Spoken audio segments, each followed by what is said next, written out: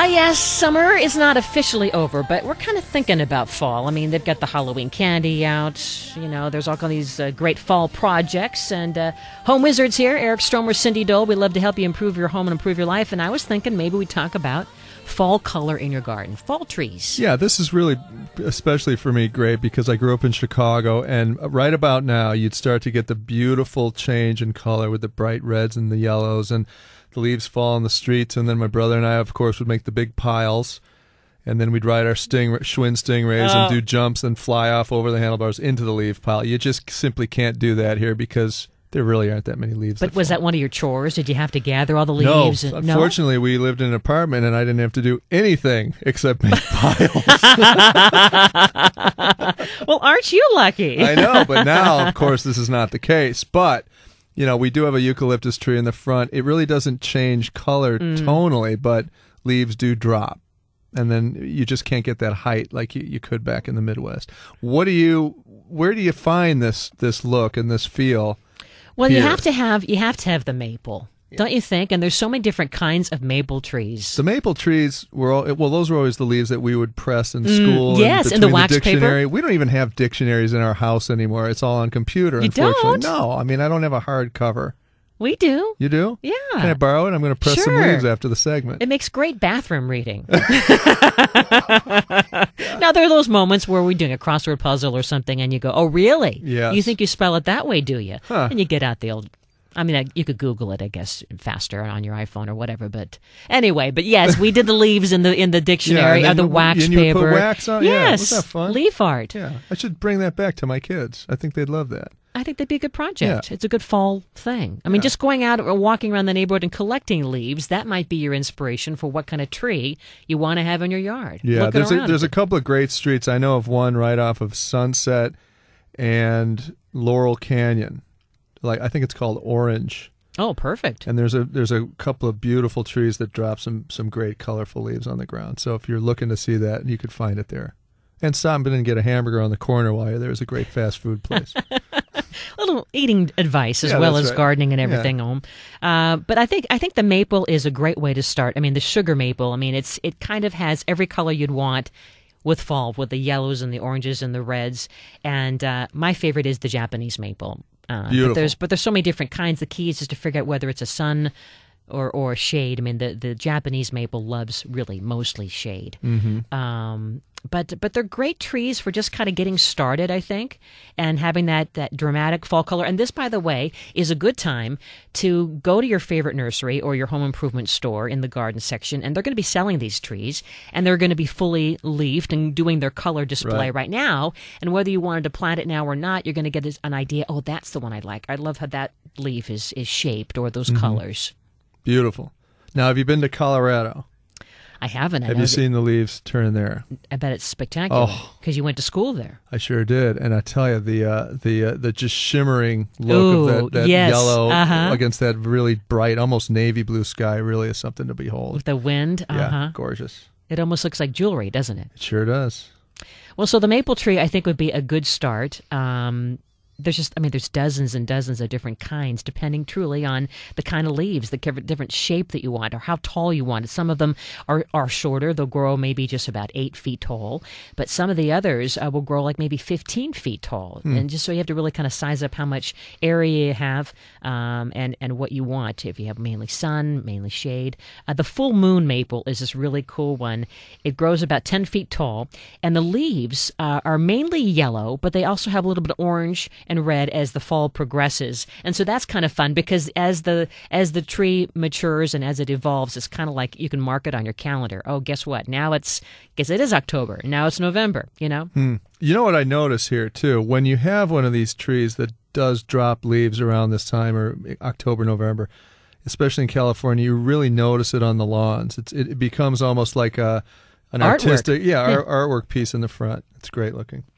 Um, so check out the maples, the sugar maple, the red maple. I mean, you can just Google them and check it out and, and find out what your zone is, how many hours of sun you have, what kind of size area you have, and, and I think that's a good a good way to start. The sweet birch um, is another really spectacular tree. If you love yellow, I mean, you talked about the shimmering effect in Colorado.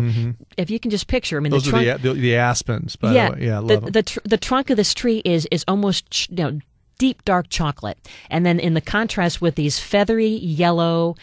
Neon yellow leaves. I mean, it's just so gorgeous, and and then the actual trunk that has a little bit of cinnamon color in it, and the bark kind of peels back. It just creates this really neat golden yellow fall explosion. And this is a, a good one to consider from from sun to shade, and it likes a moist and, and well drained soil. And it, this is a biggie guy though. This can this is Oh, going to yeah, grow about 50 feet tall. Oh, really? So this is you need a big place in your front yard, your backyard for that. But it's it's a beautiful, elegant uh, tree that will really make a statement, I think, for your home. Love that. And then, and what would you what would you do, for example, if you were someone like me who doesn't have much of this on their property? What would be your first choice? What's your favorite? Definitely would do the Japanese maple. Um, and there's a bunch of other really cool ones. I love the ginkgo biloba. Mm. You know, you, you probably see that a lot in the health food stores. Sure. But the ginkgo tree, it has these these yellow leaves that are shaped almost like coins. You know, and and they're so pretty because they, they really have this breathtaking shade of a of a golden yellow, and, and as the leaves drop, you talked about how pretty it can be in Southern California with the leaves kind of creating a blanket on the grass. Um, they really create just a beautiful uh, glow against the green uh, here in Southern And California. do we know what what the ginkgo does when you buy it in the pharmacy? What does it actually do? Do we know? Is it an anti I think it's antioxidant, isn't it? And maybe an antidepressant? Hey, I think I'm going to get one of these. You start nibbling on the leaves. That's right. But the ginkgo uh, loves sun to shade, and this guy also is pretty tall. This one's going to grow up to hundred feet tall, but um, it's it is a definite definite keeper to consider. I think here um, in Southern California. Another one, if you love colors that are more like the burgundy. Now, don't freak out when I tell you what it's called. It's called the sumac, but this is not the poison ivy, the poison oak sumac. I've spent some years at summer camp. Yeah, this I is not that one. This is yeah. the non poisonous version, but it has this beautiful, rich burgundy um, and red color that you'll see in autumn. And uh, it's it's just extra tough and it's beautiful. And um, it's it's not a good choice if you have a small space landscape because it's going to grow about 15 feet tall, but it loves full sun, well drained soil. And I think it's a keeper. Another one to, to, Okay. uh, to The think sumac. about. The sumac. So again, this is not going to be the poison ivy. No. the leaves are a little bit different, but I know when I when you see sumac, you think you've had a lot Itch of poison. cream. The you itch- think itch cream? Yeah, this summer, as a matter of fact, the couple of my kids got some poison oak. Did and, they? Yeah, and it was.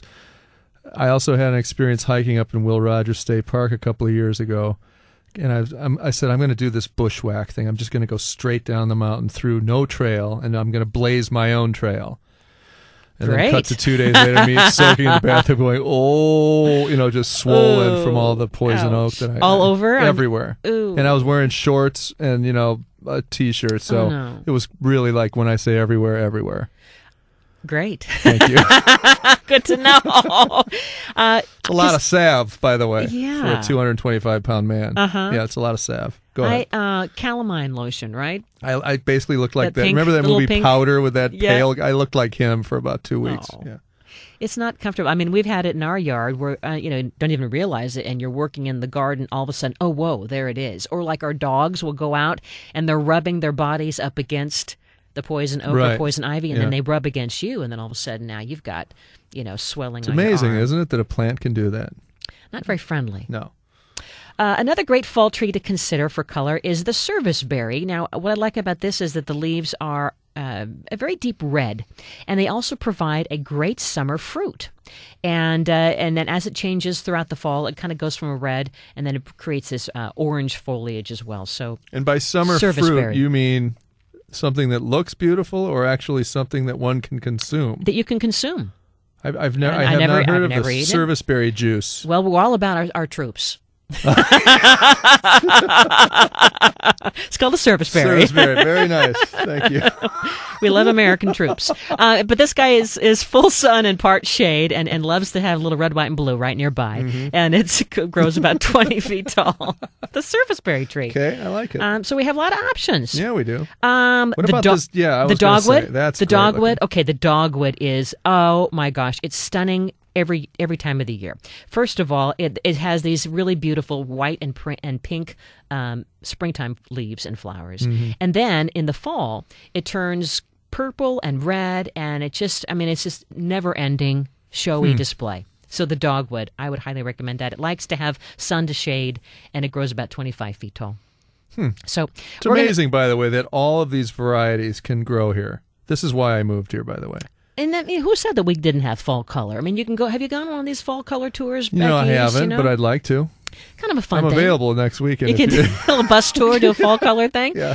When we come back, we'll talk about more uh, fall color things you can do for your garden, and we got a great project or two to give the containers that kind of fall mossy look. And we were joking that well, the rats will eat them. No, no, the rats aren't going to eat them. That was another segment. But you're listening to Home Wizards. Eric Stromer, Cindy Dole here. We love to help you improve your home, improve your life here on KFWB News Talk 980.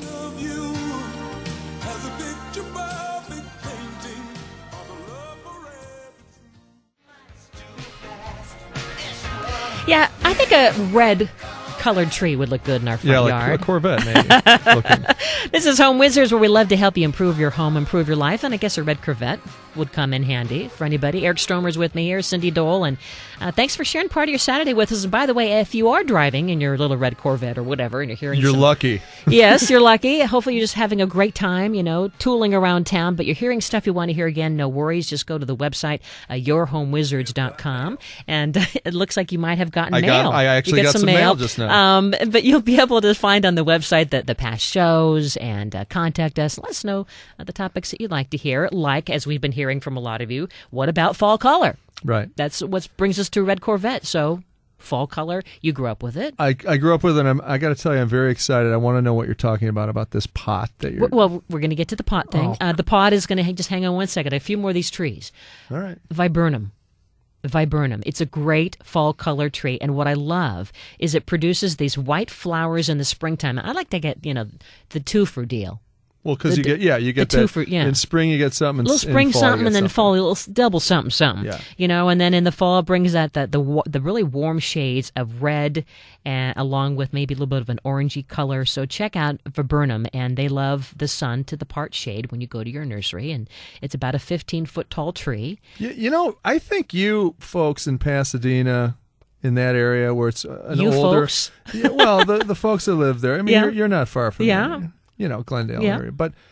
I think because it's older construction, more Mm. architecturally significant, I think the tradition of planting beautiful The trees Seco. uh, started there uh, much more than we see it in other communities. I. Maybe. you know, I I think that a lot of communities are really into adding more trees. I agree You with know, you. there- but if you take a tour through Yeah. some of those areas out there, it feels very much like the Midwest where I grew up. Mm-hmm. It, it has that same look, and it's because of that great landscaping. I think. You know, in our in our neighborhood, uh, our uh, neighborhood community program believed that it would be a good idea to give away trees for the entire several block area to not only make it more beautiful but to slow down traffic. And you know what? I think it kind of psychologically does do that. Where there's when, a canopy when there's a over the canopy, street, all of a sudden you kind of just go, oh. I mean, you just kind of look and you go, oh. Yeah, there's you don't there's feel, reverence for it. You know, it really feels beautiful when you're in it. You aren't it? all of a sudden thinking, oh, I got to ram it. I'm on the freeway. You know, maybe we should need to have trees at the freeway.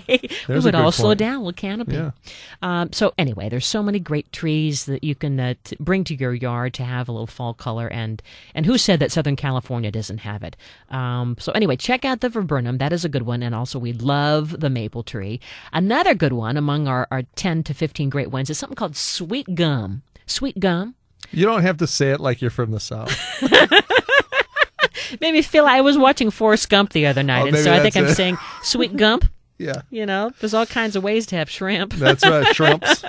But sweet gum, um, it's really neat because it almost gives you the. It has the leaf shape of the maple tree. It right? really does. Actually, when I saw that picture, I thought it was a maple. And I love, I love the how you get red, orange, and burgundy. I mean, hey, we want it all. That's a beautiful tone of burgundy. It's a nice leaf, too. tone, and it, it likes sun to shade. Um, so check out the, the sweet gum. Stop it. And it has a habit, I guess, of, of kind of rounding with age, and uh, it has little spiny seed balls that appear, um, and it's very fragrant too. Hmm. So do you have? Do You, you, know, have I any- was at the Ford Theater over the week, Oh, or actually just no, two yes. nights ago. I saw a great performance there. I've never been there, and they had these magnolia trees there that were so fragrant. It was just amazing, and what a difference it makes when not only you have the canopy like we're talking Uh-huh. about, but the fragrance at night. Oh, and the beautiful. white, the white flowers. Have you been to the Ford Theater? I haven't. Oh my goodness, this is a b- built in the t- early twenties. Some woman apparently wanted to put on a play and didn't have the financing, so she just bought and paid for this whole facility and created it for this play. I hope the play was good. so anyway, enough about that. Ford well, you know that's that's another learning lesson is that when you go out to dinner or to the theater or wherever you go, I love going to the Greek theater. me too. or the Hollywood Bowl, look at the trees that they have and look at the plantings because it makes you feel a certain way and maybe even take a picture of it. And that's going to then help you with your shopping list when you go to the nursery. Very and- good and idea. these- And then you can take that to the nursery yeah. and say, "I So saw here, this. Give me this. Give me that one Now. Yeah. and usually they're pretty good about helping you identify them just from the photo. Uh, this is a beautiful tree that reminds me a lot of the Greek, by the way. It's called the bald cypress. And it's it has this kind of an evergreen, kind of a pine tree, conifer look. But in the fall, the needles turn to this kind of a red color before they before they drop to the ground, and it's just kind of a neat little added bonus that you can enjoy uh, from spring to fall uh, to winter. It's a it's a big tree. It's 120 feet tall uh, when it's fully grown, and it likes sun and moist soil. But uh, check it out. The Fothergilla, not the gorilla, but the the Fothergilla, um, has also kind of a beautiful leaf. It um, it That's reminds beautiful it reminds me of the plant. ginkgo in a way, huh? yeah, sure does. And Again, uh, looks like little coin shaped little coins in gold and orange, and it has a, a scent of honey in uh, in the springtime. Hmm. Real honey. I love me some honey. the Fothergilla. Every, everything else seems to It's a come back to reference. food when we're talking about stuff. movie references or food. Um, anyway, so check out the Fothergilla. and it's uh, it's good in the shade. Uh, it, so if you have a nice shady area and it likes really moist, drained soil, so if you had that along with the red uh, Japanese maple, you'd be in business. You sure would. Uh, the Virginia sweet spire. Now these leaves are really interesting because um, it's a, it's a shrub. Uh, for many months, that in the summertime gives you fragrant white flowers, and then in the in the fall you get these purple and red leaves, and it's easy to grow. And I'm all about ease, and you know, not sweating it in the garden, right? And it's full sun to part shade. Boom, you're done, ten feet tall. By the way, who do you think names all this stuff? Is it is it the botanist guys? I think so. They, they just create I these think s- names. yes, I think I so. love this. So this is a Virginia sweet spire. Maybe that's where he grew up. You know, there always is some kind of a story. They want to, Hmm. you know, pay tribute to somebody. Uh, the oak leaf hydrangea is a cool one. I mean, you talked about doing a great leaf collection project with the kids. The veining on these leaves, I mean, it looks like it spreads out bigger than your hand would spread, and it's it's great. It's a great favorite shrub for the shade, and uh, it has little again clusters of white flowers in the summertime, and then a burgundy fall foliage uh, in in the fall, and it's again a shade lover. Remind me again. Mm. How do you do the wax leaves? Is it is it two pieces of wax paper Yeah, and then you and iron it? You Was can do that, sure, Or- or just put in the or book cloth over. It was cloth over the wax paper with an iron, I think. to, to to save the heat To from getting the into the from- yeah right. right. So I, I would just put the two wax on the, the two sheets of wax on either side of the leaf and just put in a book or or a couple stacks of books. Okay. Boom, you're done. But if you want to do it really fast, you know, yeah, you put the Yeah, yeah, put the, the- the towel like a like a dishcloth on either side, And then you iron it. Yeah. Yeah. So you're not going to iron through the wax paper. Right. Gotcha. Uh, witch hazel is a great one. It's a, if you like yellow, if you're a, fa- uh, a fan of the yellow leaves, it's a good one for autumn. It has uh, the kind of a goldeny yellow fall burst, and uh, the, the leaves kind of have like a spider texture. It loves the shade. It's about 12 feet tall, so check that Hmm. And this is where the product witch hazel comes from. I don't, you know what? It might. It might. I don't know. Do you Hmm. Use that for your skin? well, what do you, why do you think I look so well, I, dewy? I, I knew that you had the oatmeal mask last week, but I didn't know that they maybe they cleaned it up with witch hazel. By the way, I had a facial a couple of days ago. My Yes. my wife dragged me to this To a uh, spa day. To a spa day, and I think the woman did it a little too hard. And my son said, "You look like someone slapped you." it was Oh, just a little too much of the of the business on the back end of the facial. A little too much exfoliation. Exfol- that is that what they call it? Yeah, because you I, just have tender skin. I felt like I fell off a bicycle and slid on the cement. oh, But how's it look now? it looks great. Thank you. Youthful and I dewy. never, I never thought you'd ask. Um, the burning bush, you gotta love the burning Oh, bush. This is a good one. It's a tough shrub. Uh, it has great shades of red and pink. Uh, it's just a beautiful plant. Excuse me, a little tickle in my throat here. That's a beautiful color. That's almost like a fine burgundy wine, isn't it? Mm-hmm. And that one is easy to grow. It's it's more shrub than tree. It's about uh, maybe five to fifteen feet tall. Now Mm-hmm. here is the one that I absolutely. You asked me my all-time favorite. Okay. It's called the red dogwood twig. Now this is something where when you look at it, the bark is actually red. So when it loses its leaves, it still looks cool. Oh, that's amazing. It Yeah. almost looks like a crab crab leg, Yeah. doesn't it? We'll get to the uh, project a little bit later in the show about uh, bringing moss to your containers, but we're going to take a little quick break as we segue into hour two. Up next, we're going to talk about uh, allergy proofing your home. Do you ever get that sinus pressure? This is supposed to be a really bad allergy season. We've got an yeah, expert. I feel my eyes were who's going to watering this us. morning when I woke up. You can't up. have that. No. Home Wizards, Eric Stromer, Cindy Dole here to help you improve your home, improve your life. Let's kick it up a notch.